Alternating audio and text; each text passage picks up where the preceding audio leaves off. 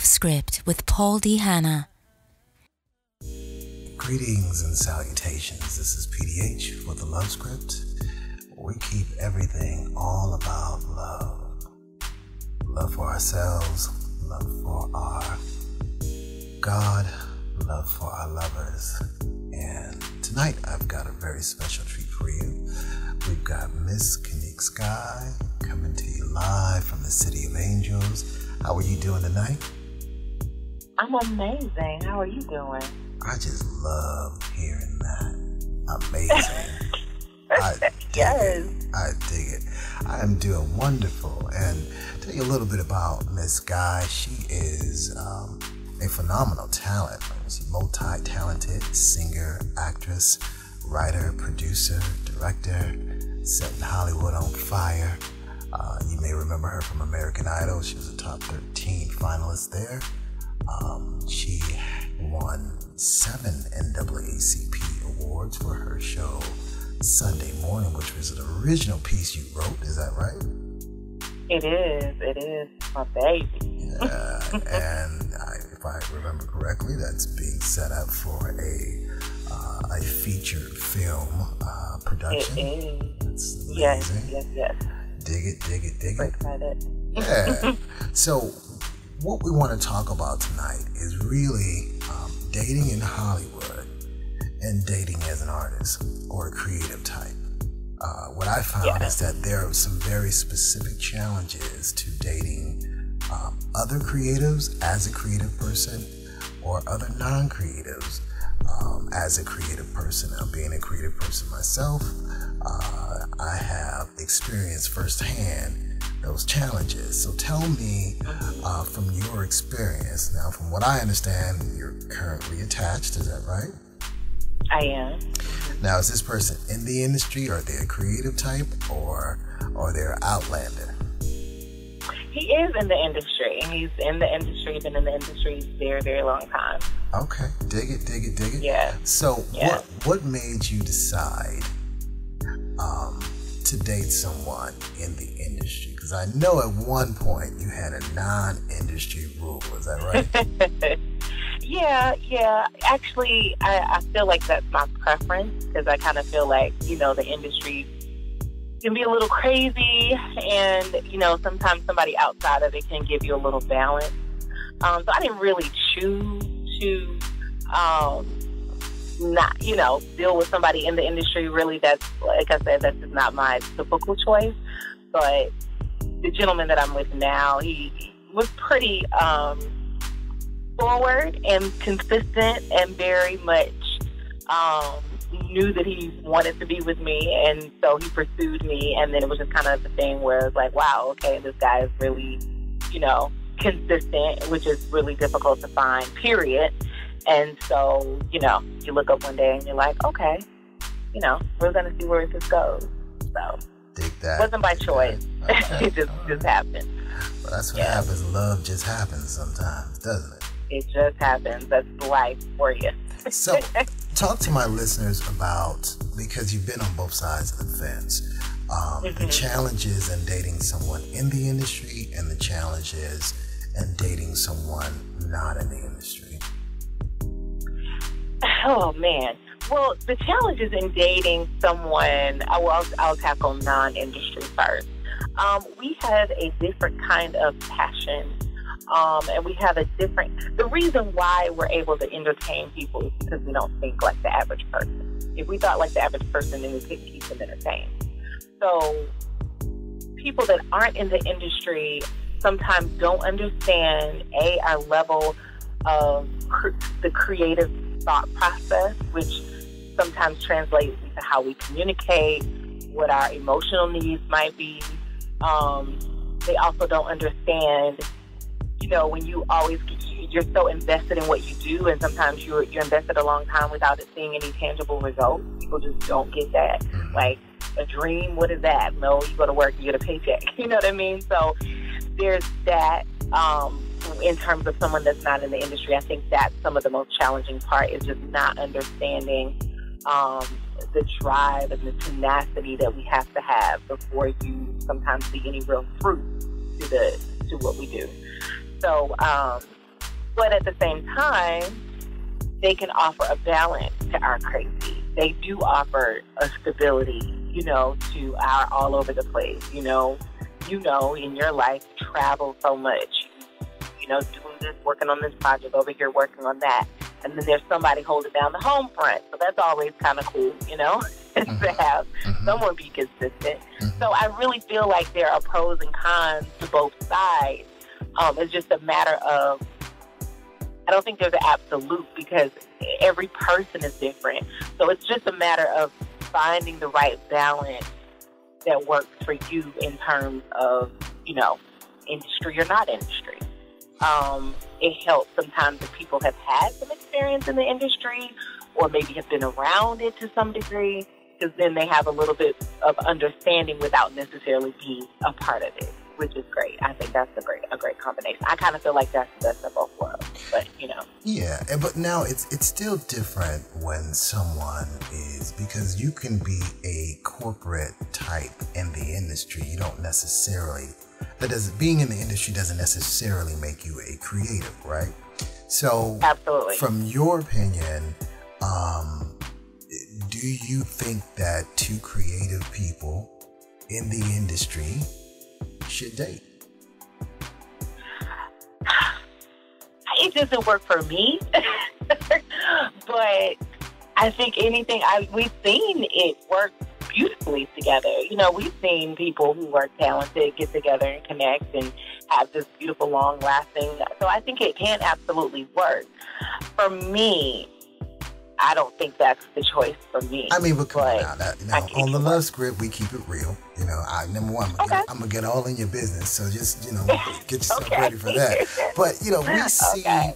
even with those relationships that between two creative people that looks to be okay you kind of hear the rumblings that it's a non-traditional marriage and then you know five ten, ten years later you know you, you hear all this stuff come out where it looked pretty and glossy and, and Ferrari like from the outside, but then you start to hear uh, later on just how crazy it was. So, you know, as you said, it doesn't work for you. But, you know, what would be your advice if your girlfriend is an actress and this actor is pursuing her, as you said, aggressively and consistently, and he just seems to be checking all the right boxes? What would be your advice to your girl? Wow. Um, run. run, Forrest, run. Um, you know, I can't say that because here's the difference to me with, with those type of relationships that you just described. I just feel like I don't feel like it's any more or less um, shenanigans happening. I just feel like with celebrity relationships, the world is more privy to it and the world is more interested. And even with that brings on additional pressures and problems because you know, we all go through things. You know what I mean? It's just like, but when you have a spotlight on you, it makes those things A, magnified and B, more difficult to, to deal with. So, um, which is why it's not for me. Um, I feel like if, if a person feels like they can handle it, I don't recommend it. I just don't. I feel like it's extra pressure that's kind of unnecessary. Um, but I'm not going to tell somebody if you meet somebody you feel like this could potentially be the love of your life, you know, to to not go there because that's the thing about love. That's the beautiful thing, and that's the sucky thing about love. There's no absolute, and there's just no. You just don't know until you go down that road and explore it. So then, let me ask you this. Um, you know, one of the things I, I have always had a rule that you know I wouldn't date actresses because I think actresses are crazy. I just think y'all are, are nuts, right? And mm-hmm. I, am crazy, okay, but it's different. You know, it's just like you know, two okay. crazy people will kill each other, set the house on fire, or you know, you know or tear the walls down making love. You know, so. so it's like, but you know, when it comes to a female like yourself, mm-hmm. um, how do you react to uh, a man that you could be dating who's garnering all this attention from women because he's in the industry and because he's in the spotlight? Listen, I in that situation, it's the man's job to make you feel to, to make sure that home feels comfortable and secure. And regardless of what women are fawning or women are throwing the drop, whatever, a mature man is going to do what he needs to do to make sure his wife, his woman, his lady, whatever, is comfortable enough to know that, baby, you got this on lock. Like, this is what I do, and this just comes with the territory, but you you got this. And it's nothing else that, if, if, if he does what he's supposed to do, then no one else can make her feel any kind of way. Like, if the circumstances or whatever, she may not always like it, whatever, but if he shows her that respect and makes her, makes her feel secure, then it's, I feel like it's, it's doable. Would I? Would that be my first choice? Hell no. I don't feel like it.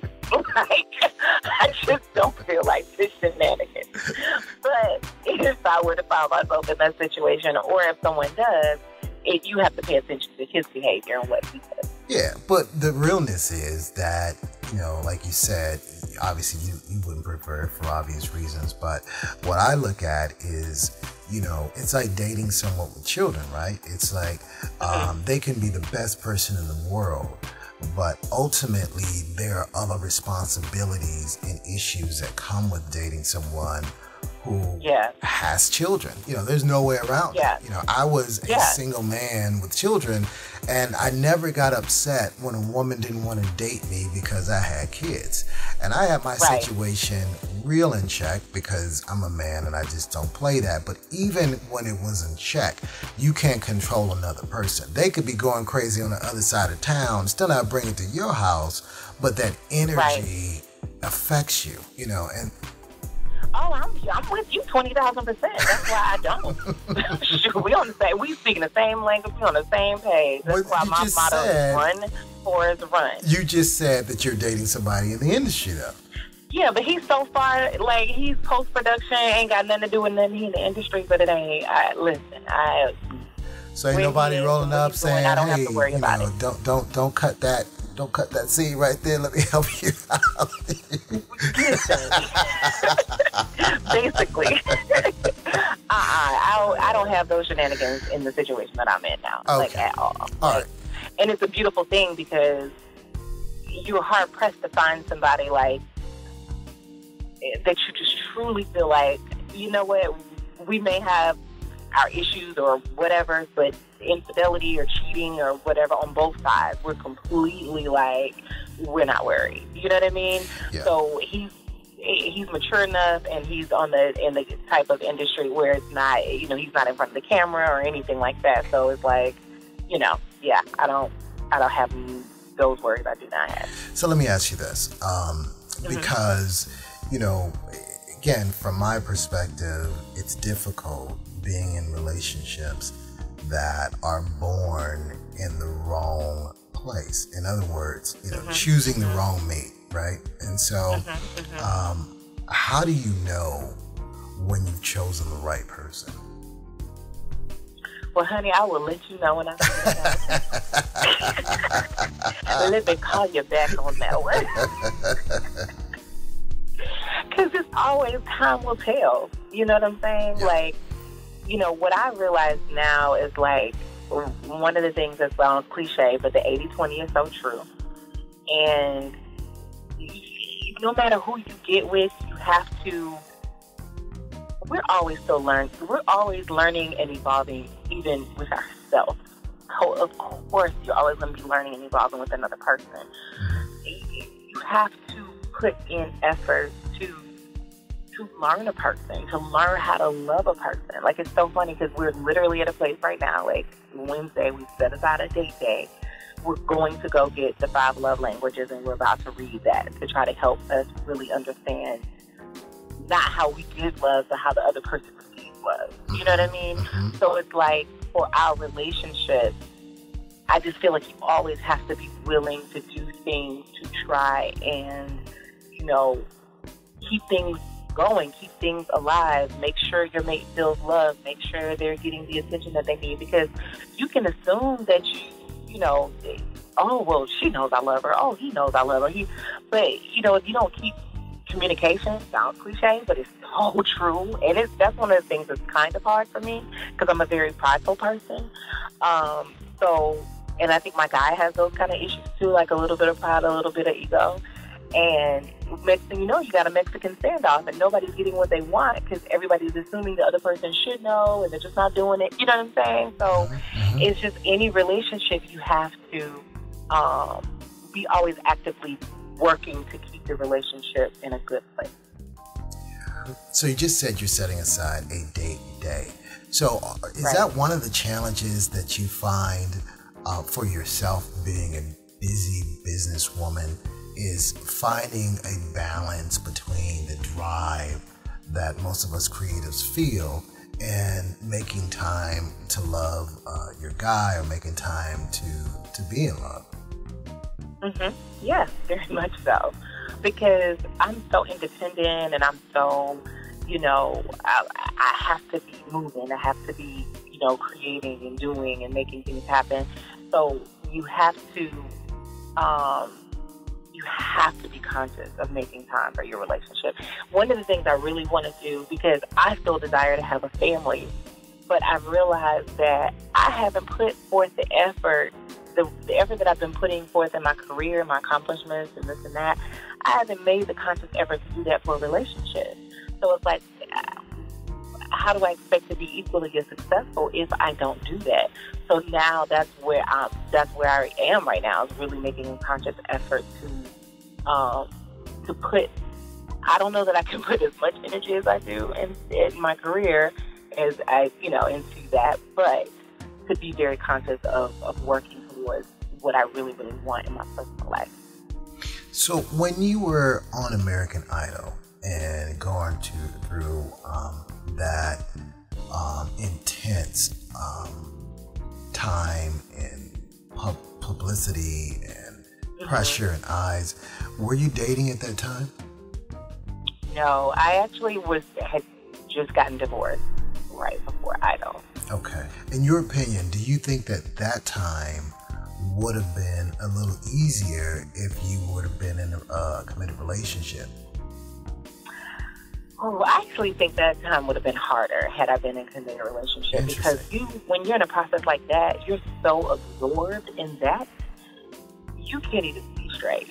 So someone would have totally felt neglected during that process. Um, having someone to talk to and confide in, yes, that always helps. Um, but my family was super, super attached and involved, and you know, and just it was a big deal, and so I had that kind of support, moral support. But I think any if I had been in a relationship, it would have been really tough for them at the time. And my ex husband said it was tough for him. Like it was tough for him because we had just gone through divorce, and now here's your ex wife on national television, and everybody's like making a big deal about your ex wife, and it was like just my, you know, we have been together for six years. So it was like really hard on him to not be there during that time in my life and for us to not be together. It was difficult. Um, but yeah, so I mean, I, to answer your question, I think would have been as someone would have felt neglected. Have you ever dated another actor? Uh, yeah, hung out. Mm-hmm. Did you say hung out? hung out. Yeah, I've never had a what I would call what I would consider a serious relationship with another actor. No. Well, why didn't that situation birth into something more serious, in your opinion? I never. I always knew that I wanted to be no actor like that age. I was just kind of something. It was yeah. I was doing something, and it, yeah, and we were hanging out. So I always feel like that is not my choice in life is to date an actor. like, no. So, yeah, we were just hanging out. Have you ever tried online dating? Yes. And I think online dating is great, actually. Um, it's been a long time since, like, for whatever reason, the last relationship or two I've been in is just kind of, they've been, well, I wouldn't say really easy, but long term. And then maybe by the time I get the itch to like, okay, I really want to get serious about dating someone again, I actually meet someone. But um, I think online dating is great. Like I know, you know, people. I think it can be. I mean, it's like anything else. You have to do your due diligence and you know, and your vetting and all that. But I think it puts you in a pool of people that you may not just come across, and it also can eliminate. I think it also can help you see the level of seriousness, especially on dates sites that you have to pay for, and they really make you put the information in, and you really, you know, they're really trying to analyze and match you up. I think it can help you weed through and get to people that are serious about having significant relationships. So you think that somebody who pays thirty dollars a month is going to be more focused on having a serious relationship and not just paying thirty dollars a month to have access to a million different women? Well, I mean, there's a whole bunch of free sites. Right? I mean, there's sites that I've never seen. Well, I've never actually seen. Um, I know Tinder exists. People talk about Tinder a lot, and I think that's free, um, if I'm not mistaken. So I'm not saying that's foolproof, but I'm just saying, and yes, people can absolutely do that. You know, they do it in real life, so of course they can do it online.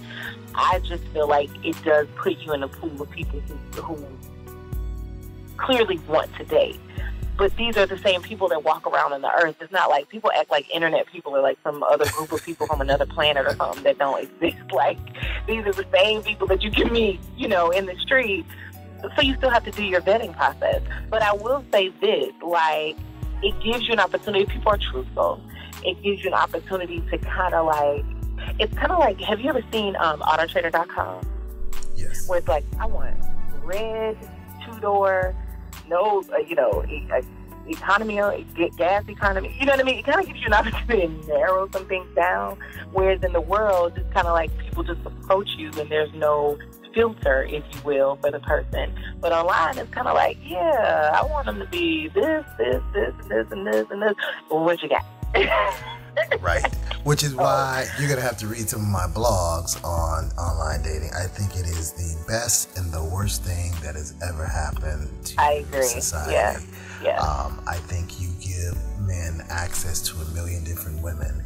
Why would he ever choose just one?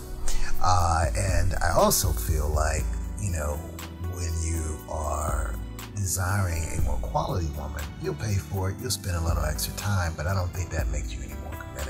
But that's a whole nother subject for another day. Now, the next question. We're currently uh, shooting a documentary called Tweet to Cheat. Uh, and it basically talks, uh, it deals with infidelity that is born out of the social media realm. Now, being in the industry and being, um, you know, creating your own products and projects, uh, you have to be very um, present on social media.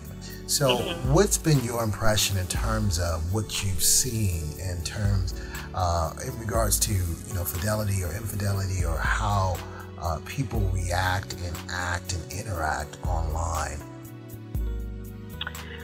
Most of the people, even for me, most of the people that I really interact with, everybody's about business and going after something. It may not necessarily be in the entertainment industry, but a lot of people that I know and socialize with and network with are people that are actually using it for the purposes of building their business or their brand. Mm-hmm. So I haven't seen a lot of the foolery, but I'm just, I'm very conscious of what I allow also in my circle and my psyche and when people are talking crazy or people seem like they got those whole ways about them, I delete it. Like I, I just don't even indulge in that kind of stuff. Like my timeline is probably really, really boring, for lack of a better word, because I just don't have a lot of the foolishness. And luckily for me, I don't even get approached with a lot of foolishness either.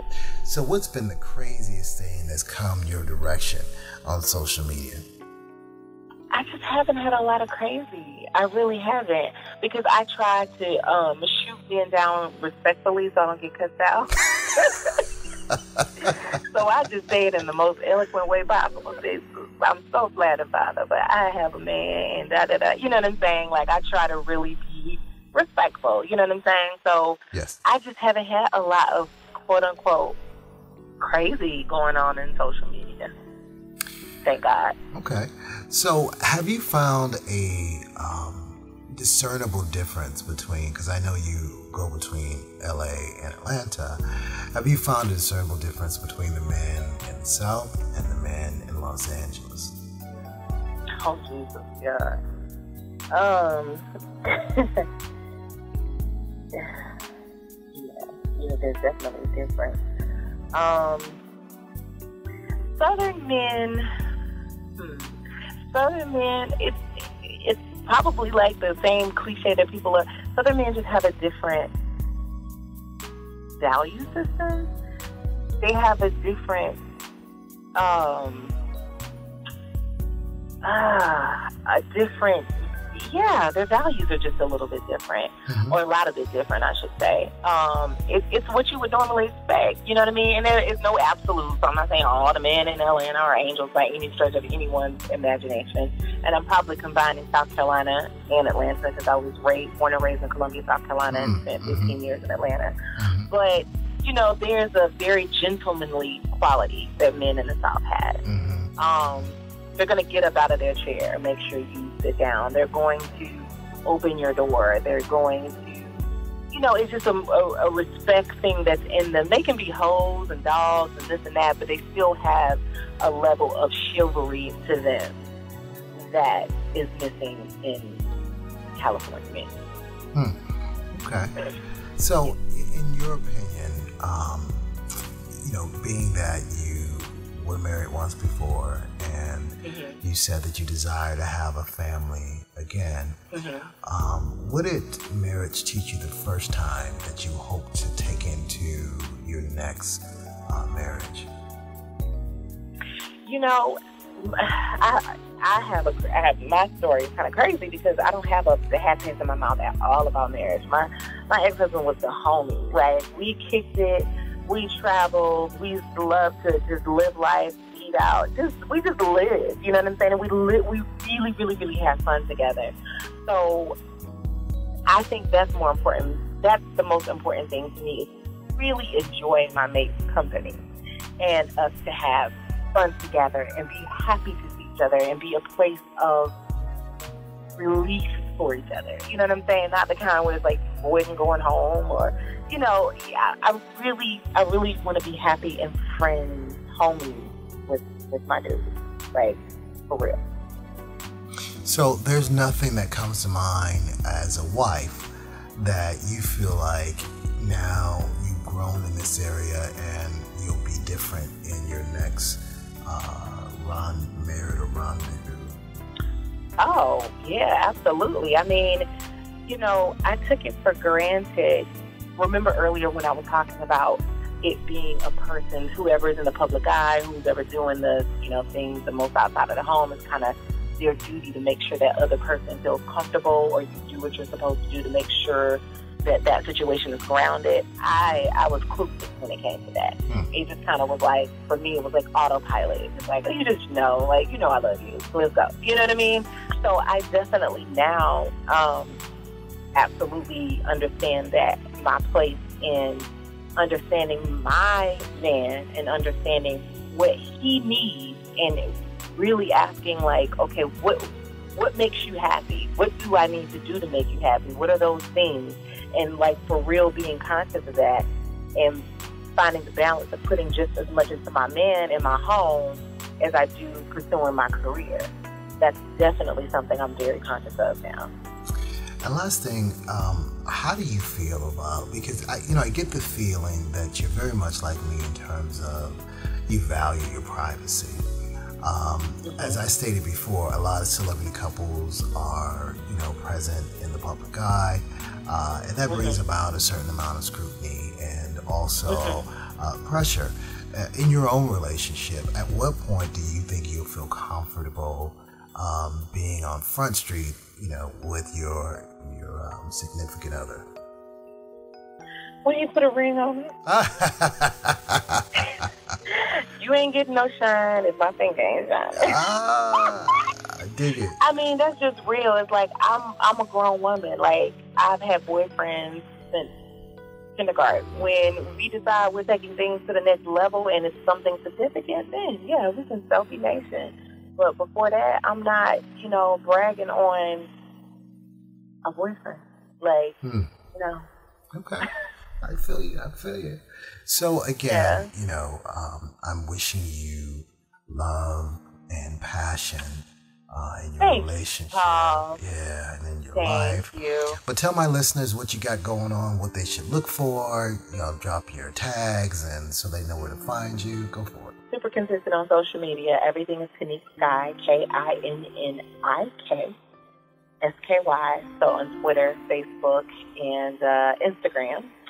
And uh, I will be releasing a new show, putting up a new show this uh, probably fall, winter. Um, I had a show called Pieces. So I'm, I'm debuting Pieces Part 2, which is called Pieces Still. Super excited about that. Um, I also have a 501c3 called Athletes and Entertainers for Change. And um, we're introducing a program this year called the Sky Academy, where I'm exposing inner city youth filmmaking, um, so they can get exposed to jobs behind the scenes, so they can aspire to be more than just, you know, rappers, nothing wrong with it, basketball players, nothing wrong with it, but they need to know that there's more opportunities, especially in Hollywood for them. Um, and I'm also exposing them to arts and culture because that develops their cognitive thinking and their social skills and all that good stuff. So um, those are my two major babies right now, my play and, and my foundation. And um, I'm excited. I just found out today I'll be directing um, an incredible actor, Rain Morton, in his uh, kind of one-man show called Eye Conversations that'll be in the Colony Theater in Burbank. So I'm staying busy. Dig it, dig it. So make sure you friend Kinnik and follow her success and her path and journey. Uh, thank you so much, uh, Kinnik Sky, for Thank being you for having me, Paul. So this is PDH, and again, with all things, make sure you do them in love. And one little tidbit I want to drop on you before you go: make sure you're listening to love songs as frequently as you possibly can. Remember, what goes in your spirit comes through your soul. So if all you take in is negativity, social media, reality TV, uh, ratchet rap, or whatever it is, um, that's all that's churning inside of you. But every now and again, a relationship needs to be oiled and pruned and sold and seeded. And an easy, quick way to do that is through love songs. You know, turn your radio up, you know, download some some jams to your iPod, run to them, work out to them. You know, have them playing in your home when your boo comes in, and you know, set your atmosphere up for love, and you'll find that'll be conducive to um, uh, creating a, a space for you and your lover to really enjoy each other. This is PDH. It's all love and no hate. Coming to you again, PDH with the love script. Peace. You've been listening to The Love Script with Paul D. Hanna. Follow us online at PDH Love Script YouTube, The Love Script, and TheLoveScript.com.